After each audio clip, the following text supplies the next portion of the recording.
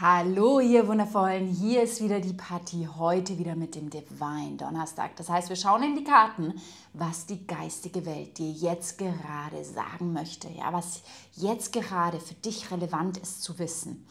Und wie immer ist das eine zeitlose Legung. Das heißt, ganz egal wann du einschaltest, sie gilt genau für den Moment für dich. Und du kannst jetzt für dich auswählen, ob du sagst, es gibt so ein Thema, da möchte ich jetzt unbedingt einen Rat der geistigen Welt haben. Da möchte ich jetzt unbedingt dazu etwas hören. Oder ob du sagst, ich schaue mal ganz offen rein und guck einfach mal, für was das gerade bestimmt sein könnte, für welchen Bereich oder für welches Thema. Ja, das ist dir überlassen. Wir schauen erstmal rein mit den Orakelkarten, was gerade hier so die Hauptbotschaft ist, die durchkommen will. Ja? Was die Hauptbotschaft ist, die zu dir strömen möchte. So. Was ist die Hauptbotschaft der geistigen Welt? Da war schon der Stopp. Wow, da war es schon. Das ist es gerade. Um was geht es hier? Abnehmender Halbmond im Steinbock, lass die Vergangenheit ruhen. Mm, ganz, ganz spannend, denn Steinbock zum Beispiel hier auch, das ist auch das Prinzip des Pragmatismus. Ja? Der, der Steinbock ist sehr pragmatisch und der sagt einfach, du, vergangen ist vergangen und jetzt blicke ich nach vorne. Der ist nicht melancholisch, ja? der hängt nicht in der Vergangenheit. Was gibt es, wo du gerade noch in der Vergangenheit rumschwirrst mit den Gedanken, immer wieder dahin zurückkehrst und wo du vielleicht auch Energie ein bisschen immer wieder dadurch verlierst, weil du so viel in der Vergangenheit bist? Diese Karte sagt, hier, es gibt etwas, was jetzt in der Vergangenheit bleiben darf und wo du dich jetzt auf die Zukunft ausrichten darfst. Also check mal mit dir ein. Ja, es könnte sein, dass das hier ein Partner ist, wo du sagst, oh, da zieht es mich immer wieder hin, Ex-Partner.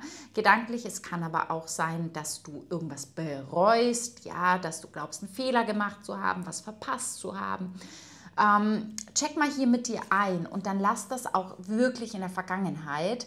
Es war perfekt, wie es war, weißt du? Das, das ist das, was diese Karte hier sagt. Und du kannst es jetzt eh nicht mehr ändern. Ja, der Steinbock ist da eben sehr pragmatisch und der ist auch sehr geerdet, ja, und der sagt einfach, jetzt geht's nach, jetzt geht's weiter und das nächste Mal kannst du es anders machen. Das ist so die Energie, ja, das ist die Energie. Okay, dann schauen wir mal in die Tarotkarten und gucken natürlich jetzt etwas näher rein, um was es hier genau geht, ja, was, was du hier wissen darfst. Und ja, gucken mal, welche Informationen dich hier gerade erreichen wollen. Die zwei Karten, oh, drei sind sogar, die ziehen wir zuerst, beziehungsweise schauen wir zuerst an. Königin der Schwerter. Das ist auch zum Beispiel, das ist zwar ein Luftzeichen, aber die Königin der Schwerter ist trotzdem so in dieser Haltung, dass sie die Fesseln zur Vergangenheit durchschneidet. Ja, das bist du. Es geht jetzt hier darum, dass du dich klar auf die Zukunft ausrichtest, nicht zurückschaust. Hier auch, guck mal, die Wolken der Vergangenheit, siehst du das, hinter dir lässt und dich darüber hinweg erhebst. Ja? Vielleicht steht auch bei dem einen oder anderen ein klärendes Gespräch hier an, was du jetzt endlich führen solltest, um eben die Vergangenheit abzuschließen. Vielleicht möchtest du auch noch mal einen Brief schreiben. Selbst wenn du ihn nicht abschickst, aber das könnte hier wichtig für dich sein, dass du jetzt gewisse Worte endlich aussprichst, niederschreibst und damit dann auch etwas abschließt. Ja, hier geht es ganz viel darum, etwas abzuschließen. Lass mich mal kurz gucken. Ja, die Karten. Du weißt, es ist jetzt an der Zeit, ja. Du, du fühlst, das ist so die göttliche Führung. Ja, das ist jetzt unausweichlich und du weißt auch, dass es dann weitergeht auf ein höheres Level. Du möchtest auch dich mehr wirklich deinem Lebenssinn gerade zuwenden. Und das ist auch richtig so. Und dafür musst du vielleicht manche Dinge klären aus der Vergangenheit was ich auch ganz stark reinkriege, ist irgendwie so ein Gefühl von nicht gut genug zu sein in der Vergangenheit zu lassen. Ja, das jetzt einfach mal zurückzulassen. Das kriege ich, ja schon mal, zurücklassen. Da, da darf etwas einen Tod sterben. Und vor allem, wir haben hier die Gedanken. Es gibt gewisse Gedanken, die einen Tod sterben dürfen, aber auch hier wieder klärende Gespräche äh, Dinge, die im Raum stehen, unausgesprochene Worte, die im Raum stehen, die jetzt ausgesprochen werden dürfen. Ich nehme mal die drei Karten so zusammen, weil die stehen jetzt gerade hier wirklich so für sich. Hier gibt es unausgesprochene Worte, die jetzt wirklich landen dürfen. Hier gibt es aber auch wirklich so Mangelgedanken, von diese, so erschöpfende Mangelgedanken, die mit dir selbst zu tun haben, von ich bin nicht gut genug, nicht weit genug, ich kann das nicht, ich bin nicht schön genug. Äh, da gibt es etwas und das hat seinen Ursprung in deiner Kindheit. Und jetzt ist es an der Zeit zu sagen, okay, das war ein Teil meines Lebens, aber das muss nicht mein weiteres Leben bestimmen. Und das ist, was dir die geistige Welt gerade sagen möchte, dass das hier ganz wichtig ist, zu einem Abschluss zu kommen. Und das, schau mal, du hast da auch wirklich dran gearbeitet. Du hast daran schon gearbeitet und jetzt bist du so weit, das wirklich in der Vergangenheit zu lassen. Und gleichzeitig sehe ich auch, dass es wichtig ist, das in der Vergangenheit zu lassen, weil es gibt eine Sache, an der du arbeitest, worauf du dich hinbewegst. Das hat was mit deinem Seelenweg zu tun, mit deinem Seelenplan, mit deiner Bestimmung, mit äh, so wirklich der, der richtigen Sache für dein Leben. Und da arbeitest du an etwas, das kann eine Beziehung sein, das kann jobmäßig was sein, ein Ziel, ja, woran du arbeitest. Und das steht dir gerade noch im Weg. Diese Beziehung oder diese Gedanken, das steht dir gerade noch im Weg. Und du darfst das jetzt hier wirklich in der Vergangenheit lassen. Okay, schauen wir mal rein. Was haben wir hier noch für weitere Botschaften der geistigen Welt, die dich gerade erreichen sollen?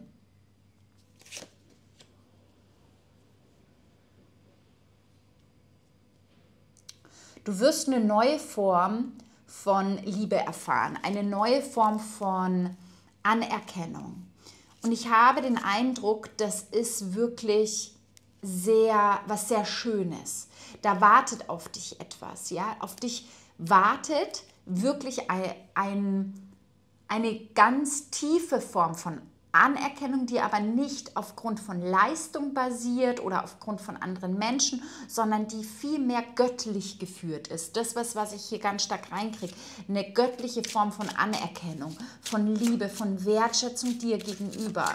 Hm, wo fährst du da noch hin? Ich möchte mal wissen, wo fährst du da noch hin? Ja, schau mal. Und dann haben wir schon wieder zum einen den Seelenweg. Du, du fährst gerade volle Kanne voraus auf deinen Seelenweg zu, vor allem wenn du bereit bist, diese eine Sache in der Vergangenheit zu lassen.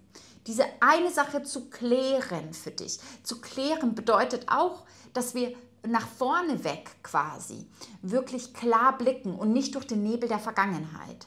Es geht hier darum, dass du in die Zukunft mit ganz viel Klarheit blickst und dass du auch bereit bist, alte Dinge hinter dir zu lassen. Und hier haben wir definitiv auch familiäre Themen, Kindheitsthemen, ja, wo du einfach sagst, es bleibt jetzt zurück in der Vergangenheit. Ähm, und was wir dann hier haben, worauf du dich zu bewegst, ja, das Potenzial, was hier liegt, da wartet jemand auf dich. Da wartet dein Seelenweg oder tatsächlich ein Mensch auf dich, der sich mit dir verbinden will. Da warten allgemein Menschen auf dich, die Liebenden. Ja, da wartet wirklich die Begegnung mit der Liebe auf dich, die Begegnung mit deinem Herzensweg, mit Herzensmenschen. Da wartet auch wirklich hm, gefühlt deine Seelenfamilie auf dich, die sich für dich schon entschieden hat, die schon bereit ist und die wartet nur noch, dass du kommst. Und damit du quasi die Leinen dieses Bootes hier losmachen kannst und wirklich in was Neues reingehen kannst, musst du eben diese, diese Fesseln hin zur Vergangenheit, hin zu Themen aus deiner Kindheit, aus deiner Familie, also aus deiner Herkunftsfamilie, hier wirklich durchtrennen und die Vergangenheit ruhen lassen. Königin der Münzen hinten, das bist du, ja. Eine Frau, die ihren Wert kennt, das ist das, wo, wo du dich hinbewegst, ja. Ich möchte es mal hier hinlegen. Eine Frau, die, die wirklich ihren Wert kennt. Eine Frau, die wirklich in sich ruhend ist. Und das ist jetzt die letzte Hürde sozusagen. Ich habe wirklich den Eindruck, das ist so die letzte kleine Sache, die du jetzt machen darfst. Du sitzt schon in dem Boot.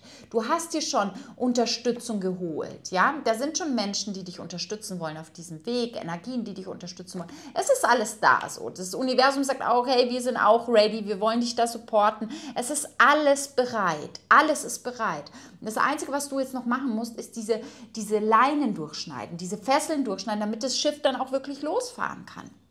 Das ist das Einzige, was fehlt. Und was mir hier eben angezeigt wird, ist klärendes Gespräch, für dich nochmal ganz klar haben, welche Fesseln durchtrennst du, vielleicht nochmal einen, einen Abschiedsbrief auch an dein vergangenes Ich zu schreiben. Ja, also wirklich hier Wertschätzung für das, was war, aber auch Pragmatismus, dass du dich jetzt neu ausrichten darfst. Ja, das ist, was ich ganz massiv hier reinkriege. Was haben wir hier noch, was zu dir fließen will? Gibt es noch Informationen? Uiuiuiui. Das war jetzt meine, meine Unachtsamkeit. So, was haben wir hier noch für Informationen, die zu dir kommen wollen? Die schauen wir uns noch an, diese zwei Karten. Die schauen wir uns noch an.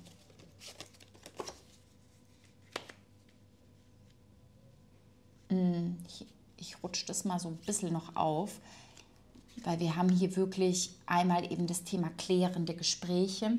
Wir haben hier wirklich das Thema, die Leinen jetzt loszumachen. Irgendwas hält dich hier noch zurück aus deiner Vergangenheit. Was darfst du da wirklich zurücklassen? Deinen Wert, um deinen Wert zu erkennen und auch tatsächlich hier die finanzielle Fülle für dich freizuschalten, durchaus auch. Ähm, aber auch das Thema Wert, deinen Wert, ja, Selbstliebe, dein Wert.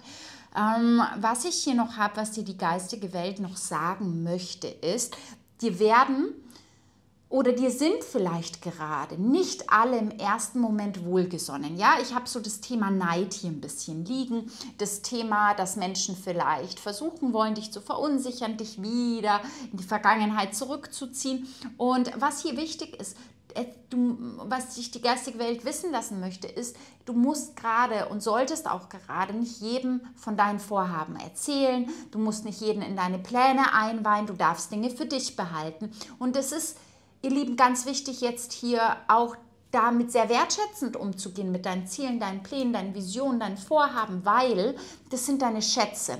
Und die darfst du auch ein bisschen hüten. So lange, bis du wirklich da auch losgefahren bist sozusagen. Ja, fang nicht an, von deinen Plänen zu erzählen, bevor du die, die Fesseln mit diesem Schiff hier durchgeschnitten hast, sondern ruft an, wenn du da auf, auf der anderen Seite des Ufers bist. Dann kannst du mal anrufen und sagen, hey, übrigens, ja. Also, er, erlaube dir, dass du für ein Stück weit Dinge für dich gerade behältst. Das, das ist was sehr Wichtiges gerade, was hier zu dir kommen will. Behalte Dinge für dich. Du wirst wissen, was es ist, weil der Page der Stäbe zeigt es auch hinten. Das sind gewisse Vorhaben, die du hast, Abenteuer, Dinge, die du angehen willst, Dinge, für die du brennst, ja, vielleicht auch jemanden, den du gerade kennenlernst, wo es gerade nicht wichtig ist und du es nicht jedem erzählen solltest. Ja, das ist jetzt einfach gerade dein Weg. Und du brauchst auch keine Bestätigung von anderen für diesen Weg. Und ich habe hier wirklich den Eindruck, ähm, ich möchte jetzt noch mal reinschauen, was was ähm, ja, zu diesem für dich behalten, was, was kommt da noch? Ja, guck mal, schon wieder auch das Thema, was wir hier haben, das Thema Konkurrenz, Neid, ähm, vielleicht äh, bist du dann zu sehr ja, wie soll ich sagen, du hast dann zu sehr das Gefühl, oh Mann, ich muss mich rechtfertigen, warum ich diesen Weg gehe. Oder ähm, die Freundin traut mir nicht zu irgendwie, dass das jetzt eine tolle Beziehung dieses Mal wird. Oder also, ne, solche Dinge habe ich hier. Oder in der Arbeit, ja. Vielleicht musst du nicht jedem erzählen, was du gerade, wo du dich gerade weiterbildest. Solche Sachen, nur mal als Beispiel, ja. Deine Pläne, deine Vorhaben, deine großen Visionen achte sie äh, und hüte sie wie dein Augapfel im Moment. Stillstand hier auf der Rückseite auch nochmal zeigt mir, behalte es für dich, geh in dich, mach das mit dir aus. Ja, du brauchst gerade auch von niemandem die Zustimmung. Du brauchst es gerade nicht. Ja, also hier geht es gerade ganz viel darum, dass du jetzt einfach wirklich weißt, dass das für dich der richtige Weg ist, dass du da losgehst. Und ich habe hier wirklich, wenn es hier um eine Beziehung geht, dann habe ich hier die absolute Herzverbindung. Aber du darfst hier vielleicht nochmal mit einem Ex-Partner abschließen. Ähm, auch jobmäßig habe ich hier wirklich dieses, diese Themen gut genug sein, ähm, hier zurückzulassen, um im Business wirklich voranzukommen. Und ich habe hier wirklich ganz, ganz stark dieses Thema, dass du ganz entspannt dann deinen Wert kennen wirst. Aber da liegt noch was in der Vergangenheit, was dich gerade immer wieder zurückzieht, ja. Ähm, und da darfst du jetzt dein Augenmerk einfach hinrichten und jetzt einfach so, ach spannend, da habe ich noch eine Fessel und die darf ich doch trennen, ja. Also das ist das Thema. Es geht jetzt auf zu was Neuem. Und jetzt schauen wir noch rein, was sagt denn hier das Greenwich Orakel noch? Was sagt das Greenwich Orakel noch? Hui, zwei Karten, die nehmen wir. Produktivität haben wir hier einmal. Also das ist gerade so die Energie, die jetzt auch kommt, ja, die Energie, die dir zur Verfügung steht, dass du produktiv bist, dass du eigentlich auch genau weißt, was es jetzt zu tun gibt für dich, ja. Der Kürbis, das ist auch so eine geerdete Frucht, das ist genau das, ja. Du möchtest ja in die Erdung reingehen, in deinen Wert auch und äh, du hast auch Lust dafür etwas zu tun und ähm, du bist auch bereit jetzt hier wirklich für das, was du willst, loszugehen, ja, und die, die nötigen Schritte quasi zu gehen. Und dann haben wir die da Dahlie, sagt man das so, Dahlie auf Deutsch, ja, ne, die Dahlie.